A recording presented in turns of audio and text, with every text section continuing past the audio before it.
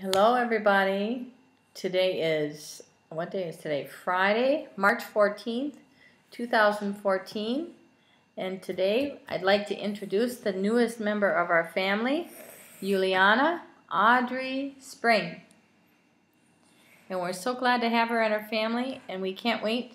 Just a few days, we'll be home, and she can meet everybody else at home. Right? Right? Can we kiss? No? No kisses?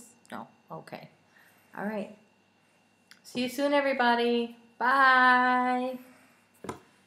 Say ciao. Audrey, say ciao. Ciao. Good girl. Ciao.